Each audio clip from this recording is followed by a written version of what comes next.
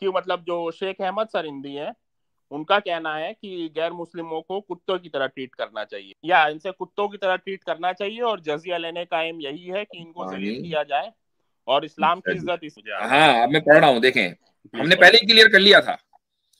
हक सुबहान अपने महबूब अलैहिस्सलाम से फरमाता है या अयुहन नबीयु जाहिदिल कुफ्फार वल मुनाफिकीन वगलुज अलैहिम। अच्छा किसके ताल्लुक से है? कि जिहाद करो कुफ्फार और मुनाफिकीन से, उन पर सख्ती इख्तियार करो। अब आगे लिखते हैं, बस हक ताला ने अपने पैगंबर अलैहिस्सलाम को, जिनकी सिफत खलूक अजीम है कुफ्फार से जिहाद और सख्ती का हुक्म फरमाया। कुफ्फार से जिहाद। जिहाद जिम्मियों से नहीं होता। इस्लामी मुल्क में रहने वाले गैर मुस्लिमों से जिहाद नहीं होता, दुश्मनों से जिहाद होता है। ठीक है? उससे मालूम हुआ कि हाँ उनको कुत्तों की तरह अपने से दूर रखना चाहिए। यानी जिस तरीके से हम एक जानवर को अपने से दूर रखते हैं ऐसे ही हम अपने दुश्मनों को दूर रखते हैं। भाई दुश्मन तो जानवर से बदतर है। उसके बाद आगे है। जी इंडियन साहब। जी मुफ्ती साहब सलाम। हाँ जी क्या हाल चाल है? बस जी ठीक है आप कैसे हैं? हाँ बिल्कुल ठीक। हाँ तो वही तो आज क्या कैसी चल रही है स्ट्रीम कुछ बातचीत हो सकती है? बातचीत ही हो रही है और ठीक चल रही है। अभी तक कोई गिलिश नहीं आया माशाल्लाह। नहीं मतलब दु, दुआ सलाम करके खत्म कर दी जाए या कुछ बात की जाए? भाई आप बात करें इसीलिए तो बैठे हैं इतनी देर से आप देख भी रहे हैं हम तो खूब बातें कर रहे हैं। अच्छा अच्छा। हाँ तो यही मतलब खिलाफत से मुतल्लिक करनी थी कुछ बस खिलाफत से मुतालिक न कीजिए बहुत उसके ऊपर बात हो गई आपके साथ। हेलो? हाँ खिलाफत से मुतल्लिक कुछ बातें करनी थी। दसवीं मरतबा खिलाफत से मुतालिक आपसे आप बात करना चाहते हैं दसवीं मरतबा। नौवीं मरतबा तो पिछली मरतबा हो गई थी पिछले हफ़्ते। हाँ तो वही पिछले हफ़्ते हाँ तो वही उसी के कंटिन्यू देखिए अगर कोई नया पॉइंट है ना तो वो लिखिएगा हाँ, अगर वही हाँ, पुरानी बात है तो कोई हाँ, फ़ायदा नहीं। हाँ, नया नया पॉइंट ही मैं उठाने वाला हूँ। हाँ, जी। नहीं पुरानी बातें नहीं नया पॉइंट ही मतलब उसी के कंटिन्यूएशन में। तो जो नॉन मुस्लिम्स के जो राइट्स होते हैं खिलाफत में उससे मुतलिक जी। कि मतलब जो शेख अहमद सरिंदी है उनका कहना है कि गैर मुस्लिमों को कुत्तों की तरह ट्रीट करना चाहिए। और इनसे लिखा है रेफरेंस मकतूबात नंबर 163 मकतूबात रब्बानी या 163 कि इनसे कुत्तों की तरह क्या चीज़ यानी मकतूब नंबर 163 या इनसे कुत्तों की तरह ट्रीट करना चाहिए और जजिया लेने का एम यही है कि इनको जलील किया जाए और इस्लाम की इज़्ज़त इसी में है। अच्छा जिल नंबर बताएँ जिल नंबर बताएँ। काफिरों को जो है मतलब जलील किया जिल नंबर वॉल्यूम नंबर एक मिनट वो मेरे को लैपटॉप खोलना पड़ेगा। जी देनी को ज़िम्मेदारी दी जाए आप रखें वहाँ से शो करें। लेकर आए होंगे रेफरेंस आप। सही बात। है उसके लिए मुझे लैपटॉप खोलना पड़ेगा। हाँ तो लैपटॉप खोल लीजिए और मुझे रेफरेंस वॉल्यूम नंबर चाहिए और इसका ट्रांसलेशन है वो भी चाहिए ठीक है? एक बात। दूसरी बात ये है अब मैं आपको ये भी बता दूँ कि इस्लाम में जो जिम्मियों का या गैर मुस्लिमों का जो हक है वो उतना ज़्यादा है कि जो किसी डेमोक्रेसी में नहीं है। ये मैं पहले भी बता चुका हूँ इसलिए आपने कोई नया पॉइंट नहीं दिया मुझको। आप सिर्फ़ एक नया रेफरेंस तो दे रहे हैं। पॉइंट नया नहीं है। ये मुझे अच्छी तरह याद है कि मेरी इस मौजू के ऊपर आपसे गुफ्तु एक मरतबा नहीं दसियों मरतबा हो चुकी है। So you don't wanna move away from that आप वही चीज़ें घुमा घुमा घुमा घुमा कर लाते हैं। ठीक है? मैं थोड़ी देर के लिए मान भी लू ना थोड़ी देर के लिए मान भी लू। हालाँकि अभी तक के आपने रेफरेंस दे ही नहीं दिया। अगर मैं मान भी लू कि किसी एक्सवाइजी आलिम ने छोटा हो के बड़ा हो यह बात कही है तो ये ज़रूरी नहीं है कि वो इस्लाम का मौकफ हो। इस्लाम का मौकफ वो है कि जो कुरान और हदीस और सुन्नत में लिखा हुआ है। कुरान का मौकफ ये है कि एक गैर मुस्लिम को जो इस्लामिक टेरिटोरी में रहता है, उसको इतने हुकूक हैं कि जितने हुकूक एक मुसलमान को मिले, बल्कि बास चीज़ों में ज़्यादा हैं। रसूल अक्रम वसल्लम की आखिरी वसीयत वसीयत का मतलब ये होता है कि जिस वक्त एक इंसान दुनिया से जा रहा है, उस वक्त वो क्या पैगाम देकर जा रहा है? वो वसीयत ये देकर गए थे कि गैर मुस्लिमों के हकूक का ख्याल करना और ये फरमाया था कि लहुम माल मुस्लिमीन वाल मुस्लिमीन कि उनके वही हुकूक हैं जो मुसलमानों के और उनकी वही जिम्मेदारियाँ हैं जो मुसलमानों की। बात खत्म हो गई यहाँ। नहीं तो जो इन्होंने कहा है तो ये क्या इस्लामिकली सही नहीं है?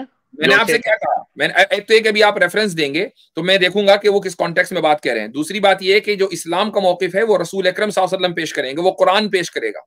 वो कोई आलिम नहीं पेश करेगा अगर वो इस्लाम के मौकफ से कुरान की किसी आयत से या हदीस से टकरा रहा है तो उस आलिम की बात को मुस्तरद कर दिया जाएगा। हमारी तो एपिस्टेमोलॉजी ये है बिल्कुल क्लियर है। तो जो उनको मतलब मुजद्दिद कहा जाता है तो वो गलत बात कर सकते हैं राइट मुजद्दिद कभी भी मासूम नहीं होता। कोई भी मुजद्दिद है वो इनफेलेबल नहीं होगा। उसके अंदर बहुत सी मरतबा उसके मौकफ को से आप डिसएग्री करेंगे। और मैंने आपको वो ईमेल भी किया था आपने वो लेकिन लेकिन लेकिन रेफरेंस की ज़िम्मेदारी आपकी है। हाँ, अभी तक। ये सारी बातें उस पर हो रही हैं कि हम ये आपकी जुमले को मान लें और विद और उसमें बगैर किसी कॉन्टेक्स्ट के।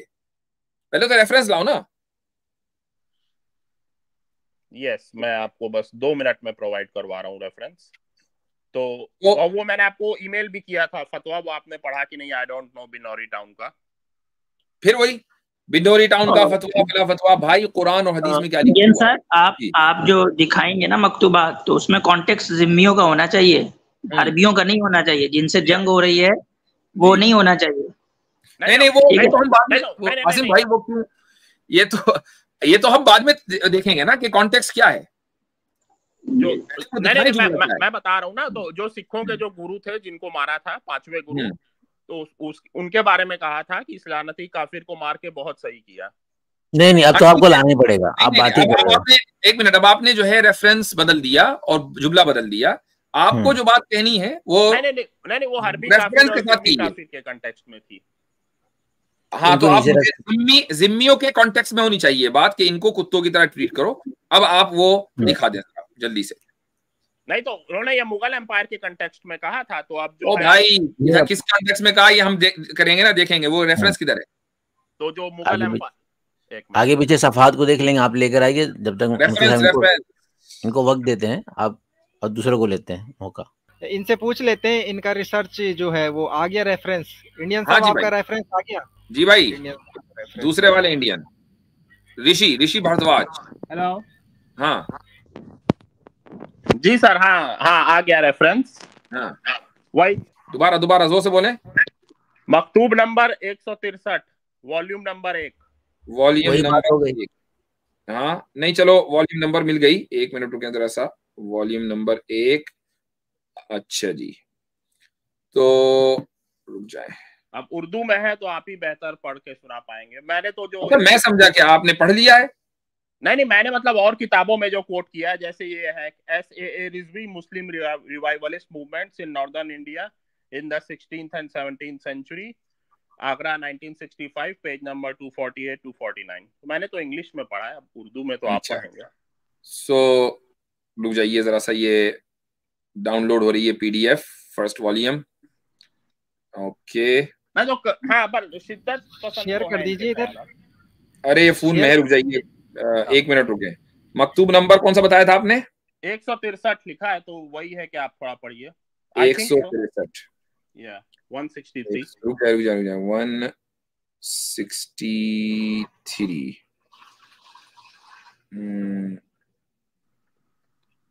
ये हमारे अबूजर भाई हैं क्या? अगर हमारे अबूजर भाई हैं ये ये कह रहे हैं कि हमने नहीं बोला। अगर हमारे वाले अबूजर भाई हैं। नहीं नहीं हमारे वाले नहीं है वो। हमारे वाले का लोगो ऐसा नहीं है। वो तो बकायदा लेने अगर वो अगर वो है तो ले लीजिए। ना ना ये वो नहीं है।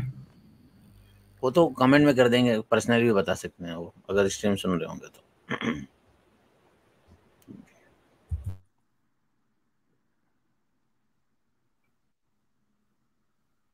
अच्छा जी। मतलब इनके काफ़ी शिद्दत पसंद ख्यालात लगते हैं मुझे। नहीं नहीं वो शिद्दत पसंद तो खैर आप भी हैं उसमें कोई मसला नहीं है। कैसे? आप बताइए। आप बताइए। भाई आप सेक्युलरिज्म को लेकर शिद्दत पसंद है। शिद्दत पसंदी किसे कहते हैं? कहाँ शिद्दत? तो, तो आप क्या चाहते हैं कि मतलब क्या ख्यालात हो मेरे? बस शिद्दत पसंद ना हो। तो कहाँ शिद्दत पसंद हो? तो हम्म मतलब मतलब सबको ये बराबर है तो ये शिद्दत पसंदी हो गई। नहीं सब बराबर नहीं है ना आपके नज़दीक। तो कहा? अच्छा। इंडिया में इंडिया में मुझे वो पढ़ लेने दें जो अभी आप क्या जुमला बताया था? कि Islam the honour of Islam lies in insulting kufr and kafirs one who respects the kafirs dishonours the Muslims. अच्छा। ठीक ठीक ठीक। अच्छा जी तो ये देखें अब हम्म। हाँ जी यहाँ से शुरू होती है ये गुफ्तगु। हाँ तो है ना? तो हाँ sorry thank you so much आप उर्दू में पढ़ रहे हैं क्योंकि मुझे हाँ। मैं पढ़ रहा हूँ देखें। हमने पहले ही क्लियर कर लिया था। हक सुबहान ताला अपने महबूब सलाम से फरमाता है या अयुहन नबीयु जाहिदिल कुफ्फार वल मुनाफिकीन वगलुज अलैहिम। ठीक है आसिम भाई? अच्छा आसिम भाई सुन रहे हैं? आसिम भाई। माइक म्यूट है आसिम भाई माइक म्यूट है आपका। आसिम भाई का माइक म्यूट है जी जी मुफ्ती साहब मैं सुन भी रहा हूँ और मैं पर्शियन जो ओरिजिनल है वो मैं चेक कर हाँ अब तो उसकी आप इसको सुनिए। या नबी जाहिदिल कुफ्फारा वल मुनाफिकीना वगलुज अलैहिम। आयत आ गई? अच्छा। किसके ताल्लुक से है? कि जिहाद करो, कुफ्फार और मुनाफिकीन से, उन पर सख्ती इख्तियार करो। अब आगे लिखते हैं। बस हक ताला ने अपने पैगंबर अलैहिस्सलाम को, जिनकी सिफत खुलुक अजीम है, कुफ्फार से जिहाद और सख्ती का हुक्म फरमाया। कुफ्फार से जिहाद। जिहाद जिम्मियों से नहीं होता। इस्लामी मुल्क में रहने वाले गैर मुस्लिमों से जिहाद नहीं होता, दुश्मनों से जिहाद होता है। ठीक है? उससे मालूम हुआ कि उन कुफ्फार के साथ, कि जिनके साथ जिहाद किया जाएगा, उन कुफ्फार के साथ सख्त रवैया इख्तियार करना भी खुलूक अजीम में दाखिल है। यानी आला अखलाक में दाखिल अजीम का मतलब है हाईएस्ट लेवल ऑफ़ मोरालिटी अच्छा बस इस्लाम की इज़्ज़त, कुफर और कुफ्फार की जिल्लत खारी में है। ठीक है? उसके बाद आगे लिखते हैं, जिसने कुफ्फार को अज़ीज़ रखा, उसने अहले इस्लाम को जलील किया। और ये पूरी आ, ये पूरी बात जो है या नबी जाहिदिल कुफ्फारा के कॉन्टेक्स्ट में हो रही है। और ये आयत हरबियों से मुतालिक है दुश्मन कुफ्फार से मुतालिक है। उन कुफ्फार से मुतालिक नहीं है कि जो कुफ्फार इस्लामिक कंट्री में रहते हैं। क्योंकि आपका ओरिजिनल सवाल ये था कि इस्लामिक कंट्री में रहने वाले जो गैर मुस्लिम हैं उनके क्या हुकूक हैं? यहाँ पर वो आयत उस आयत की तफसीर हो रही है। इसमें पर ये क्यों लिखा है कि उन पर जजिया लगाने का ए, एम यही है कि जो है वो अभी रुके अभी रुके अभी रुके अभी रुक जाइए कि अच्छा जिसने कुफार को अज़ीज़ रखा, उसने अहले इस्लाम को जलील किया। उनको इज़्ज़त देने का मतलब यही नहीं है कि उनको, उनकी खाम खा ताजीम करें या उनको ऊँची जगह बिठाएँ, बल्कि उनको अपनी महफिलों में जगह देना या उनके साथ हम नशीनी रखना और उनसे खलतमल्त होना भी उनको इज़्ज़त देने में दाखिल है। किन के बारे में बात हो रही है? दुश्मनों के बारे में। कि आप उनके साथ उठेंगे, बैठेंगे, उनके साथ अपनी महफिलें जमाएँगे, ये भी गोया कि आपने उनको इज़्ज़त दी। वो तो दुश्मन है। आप जो है अगर किसी मुल्क, एक मुल्क दूसरे मुल्क को एक दुश्मन कंट्री डिक्लेयर कर दे तो सिटीजन का वहाँ आना जाना बंद हो जाता है। ये आपके सेक्युलरिज्म का रूल है ना भाई। आप अमेरिका में जरा रशिया जाकर दिखाएँ आजकल। देखते हैं कि पहुँचते हैं कि नहीं वहाँ। और अगर पहुँच जाते हैं तो वापस जो है खैरियत से दाखिल होते हैं कि नहीं इमिग्रेशन क्लियर करके। क्यों? चूँकि आपने उनको इज़्ज़त दी है। इस वक्त हम ये अमेरिका जो है वो स्टेट ऑफ़ वॉर में है रशिया के साथ। रशिया के साथ कोई मामला नहीं होंगे। आप जरा जिस वक्त जो है वहाँ तालिबान का रूल शुरू हुआ तो अमेरिकन जरा अफ़गानिस्तान जाकर दिखाते। आप जरा कोई ट्रांजेक्शन करके दिखाइए इस लेटर में जजिया का भी ज़िक्र आता है। तो, तो यहाँ पर बात हो रही है किनकी हरबियों की बात हो रही है। उसके बाद आगे कहते हैं कि हाँ उनको कुत्तों की तरह अपने से दूर रखना चाहिए। यानी जिस तरीके से हम एक जानवर को अपने से दूर रखते हैं, ऐसे ही हम अपने दुश्मनों को दूर रखते हैं। भाई, दुश्मन तो जानवर से बदतर है। उसके बाद आगे है कि तो आगे इसमें जिजिया का तो कहीं ज़िक्र दूर दूर नहीं है। उसके बाद, The real purpose of levying jizya on them is to humiliate them to such an extent that they may not be able to dress well and live in grandeur. They should constantly remain terrified and trembling. के दो सवाल थे। पहला सवाल तो आपको यही था कि इन्होंने उन जिम्मियों के बारे में ये जुमला कहा ये तो गलत हो गया आपका? कुफार के मुतालिक ये जुमला कहा था उन्होंने। नहीं तो ये अच्छा। जजिया जजिया का अच्छा अब अब बात दूसरी शुरू हो गई। ठीक है? अब बात दूसरी शुरू हो गई। अब आते हैं वो हिंदुस्तान के कॉन्टेक्स्ट में। कहते हैं कि हिंदुस्तान में काफिरों से जिजिया मौकूफ होने का बाइस अहले कुफर की मुसाहबत की बदबख्ती का नतीजा है जो उन्होंने इस मुल्क के सलातीन के साथ इख्तियार किया है। ठीक है क्या समझ में आया कुछ? नहीं आया थोड़ा एक्सप्लेन करना पड़ेगा आपको। थोड़ा सा एक्सप्लेन करिए। हाँ वो ये कह रहे हैं कि पहले जिजिया लिया जाता था हिंदुस्तान में कुफार से उसको मौकूफ कर दिया गया, यानी वो सस्पेंड हो गया, उसको रोक दिया। क्यों रोक दिया? अहले कुफर की मुसाहबत की बदबख्ती का नतीजा, यानी कुफार ने बजाय इसके कि वो अपने आप को जिम्मी स्टेटस उसका ख्याल करते, बल्कि उन्होंने दुश्मनी मोल ली इस मुल्क के सलातीन के साथ। इस मुल्क के सलातीन, यानी सुल्तानों के साथ उन कुफार ने दुश्मनी मोल ली तो वो दुश्मन बन गए। तो जो जिजिया था वो मौकूफ हो गया। अच्छा उसके बाद आगे है कि उनसे जिजिया वसूल करने का असल मकसद उनकी तजलील है। यहाँ ये वाला जो सेंटेंस है आ, ये जो आप इसको कोट कर रहे हैं कभी जिजिया का मकसद जो है वो तजलील है। ये कुरान करीम की जो आयत है ये उसका उन्होंने अपने एतबार से तर्जुमा किया है कि आई वहम सागिरून कि उनसे जिजिया लिया जाए वहम सागिरून while they are subjugated subjugation और तजलील ये दोनों सिनोनिम्स हैं। आप इस मुल्क में, अमेरिका में रहते हैं, कमाते होंगे और टैक्स देते होंगे। जरा दो चार साल टैक्स न दें। गारंटीड है कि फेडरल क्राइम करने के नतीजे में आपको जेल में डाल दिया जाएगा और आपको जलील किया जाएगा, क्योंकि जेल में जाना तजलील करना है। देयर आपके ऊपर जो टैक्स लगाया गया है, आप मजबूर हैं। आप चाहे जो कर लें, आप अपना टैक्स नहीं बचा सकते। कि आप ये कहेंगे, यार, पैसे मैं कमा रहा हूँ, मेहनत मैं कर रहा हूँ टैक्स गवर्नमेंट ले जाए, सेक्युलर गवर्नमेंट आपकी, जो बहुत ही खूबसूरत गवर्नमेंट है, वो ले जाए। तो भाई, जिस तरह आप जलील खार एक सेक्युलर निज़ाम में हो रहे हैं, हर टैक्स देने वाला जलील खार होता है।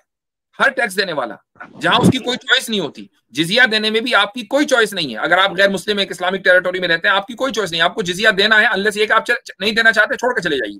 आपको अमेरिका में टैक्स नहीं देना, आप छोड़ के चले जाइए। नहीं पर इसमें ये क्या लिखा humiliate them to such an extent that they may not be able to dress well and live in grander नहीं ये चीज़ जो है एक मिनट ये कहाँ लिखा है भाई? They should constantly they should remain constantly terrified and trembling. और भी इन्होंने काफ़ी सारी बातें लिखी है वो काफ़ी लंबी बात हो जाएगी कि हिंदुस्तान में गौकुशी करना सबसे अजमत का काम है। और जो है काफिर जजिया देना तो कबूल कर सकता है पर जो है काउ सेक्रीफाइस कबूल नहीं कर सकता और भी काफ़ी सारी चीज़ें जी अच्छा जी। अम इन्होंने आगे लिखा यहाँ पर जो बात हो रही है वो अब इंडियन कॉन्टेक्स्ट हो रही है। जी। मुफ्ती साहब ये इंडियन साहब कह रहे थे कि ये एक्सट्रीमिस्ट नहीं है। हाँ। तो इंडियन भाई अगर आप नहीं है तो कोई कुछ भी लिखे किसी के बारे में आपको फ़र्क ही नहीं पड़ना चाहिए। अरे तो मुझे क्या फ़र्क पड़ रहा है? मुझे कोई फ़र्क नहीं पड़ा। मैं मुफ्ती साहब को बता रहा था कि बहुत सारी राय हैं अलग अलग अच्छा तो अच्छा अच्छा ये बात नहीं नहीं इसी पर इसी पर हम बात कर लेते हैं कि तजलील ह्यूमिलिएट क्या आपको लगता है कि टैक्स ना देने की वजह से जो आप ह्यूमिलिएट होंगे वो ठीक वो ह्यूमिलिएशन ठीक है? नहीं टैक्स देना को, का कोई ह्यूमिलिएशन से संबंध ही नहीं है कि टैक्स मतलब मैं टैक्स देता हूँ तो ये थोड़ी कि मैं ह्यूमिलिएट हो रहा हूँ कि भाई मैं नहीं नहीं नहीं नहीं, नहीं आप टैक्स ना दें तो ह्यूमिलिएट होंगे कि नहीं होंगे? तब तो होंगे। तब तो होंगे। इसका मतलब टैक्स देना आपकी मजबूरी है। जो काम आप मजबूरी में करें अपना पैसा कमाया हुआ दूसरे को दें तो ये इससे बढ़कर ह्यूमिलिएशन और क्या है? आपको महसूस नहीं हो रहा क्योंकि सारे ह्यूमिलिएट हो रहे हैं? आप सर आप आप जस्टिफाई कर रहे हैं। अब ये नहीं नहीं नहीं। नहीं। ये बात ये हो रही है कि ह्यूमिलिएशन का जो लफ्ज है वो हर हुकूमत करती है। इस्लामी हुकूमत भी करेगी क्योंकि जो भी टैक्स आपके ऊपर इंपोज किया जाएगा आप मजबूर हैं अगर आप उस टेरिटोरी में रहते हैं। ऑफकोर्स मैं जस्टिफाई कर रहा हूँ। तो they should remain constantly terrified and trembling नहीं नहीं नहीं मैं इस मैं इस लफ्ज ह्यूमिलिएशन को मैं इस लफ्ज ह्यूमिलिएशन को जस्ट को कर रहा हूँ जस्टिफाई कि जो ह्यूमिलिएशन का लफ्ज है जस्टिफाई है। बाकी आ, जो अभी तक की बात कही है अभी तक जितनी भी बात कही है वो एक हंड्रेड परसेंट एक्यूरेट कही है। आगे जो बात उन्होंने लिखी है और जो आप कोट कर रहे हैं उससे मैं मुतफिक नहीं हूँ। मसलन उन्होंने लिखा कि ये जिल्लत कहाँ गया भाई? ये जिल्लत इस हद तक है कि जिजिए के खौफ की वजह से वो अच्छा कपड़ा ना पहन सके और शान और शौकत इख्तियार ना कर सके। ये चीज़ कॉन्ट्रडिक्ट करती है कि जो हमारे फुकाहा ने मुजद्दिद अलफसानी रही से पहले कित, कितने ही पहले वो लिख चुके थे। किताब सियर पूरी मौजूद है इमाम मोहम्मद की कि जिसमें जिम्मियों के अहकाम है कि वो अपनी मस, अपने जो टेम्पल्स हैं अपने इबादत खाने हैं बना सकते हैं नहीं बना सकते क्या कपड़े पहन सकते हैं किस तरीके से उनका कारोबार होगा मुकम्मल उसमें कहीं ये बात नहीं लिखी कि वो अच्छा कपड़ा नहीं पहन सकते तो आ, तो मुजद्दिद अल्फसानी मुजद्दिद अल्फसानी रही ने अगर कोई बात लिखी है तो वो कुरान नहीं है अभी तक की जितनी बात है सुन लीजिए। ये भी आप जी गो गो ये भी याद रखने की बात है कि ये कोई फ़िक्र की किताब नहीं है ये लेटर्स हैं। तो लेटर्स की लैंग्वेज अलग होती है कानूनी लैंग्वेज अलग होती है। और ये देखें कि मैं यहाँ बैठकर उस लेटर में वो जो जुमला लिखा हुआ उसको उसको उससे डिसएग्री करता हूँ। इसीलिए इसीलिए I appreciate you you know और लाइक यू नो यू आपकी ऑनेस्टी है इंटेलेक्चुअल ऑनेस्टी मैं उसकी बहुत तारीफ़ करता हूँ। और हमेशा ही तो, करता हूँ। नियन साहब आप भी अपने उस जुमले को फिर वापस ले लीजिए जहाँ पे आपने जिम्मियों के लिए कुत्ते का लफ्ज इस्तेमाल किया था जबकि वहाँ पे तो हाँ, है ही नहीं। वो जिम्मियों के लिए नहीं है। चलिए चलिए ठीक वो हर भी काफिर के लिए है। ओके चलिए ठीक हाँ। बस अब ये हो गई टोटल क्लियर बात। टोटल जो मुफ्ती हम्म। साहब इसका एम था ये यही था आपको बताने का। और देखें मतलब मैं अलग लोगों में अलग अलग देखें देखें इंडियन भाई बात यह है कि पूरा खत जो है ना वो हरबी काफिरों के लिए ही है। अब आप हरबी काफियों को चाहे जानवर से तशबीह दें या उनको कहें कि इनको ह्यूमिलिएट किया जाएगा। लगाने के बाद थोड़ी हरबी काफिर हैं। हाँ नहीं वो बात सही है वो बात सही है लेकिन जो पूरा लेटर का जो कॉन्टेक्स्ट है ना वो जिम्मी है। सॉरी हरबी है जिम्मी नहीं है।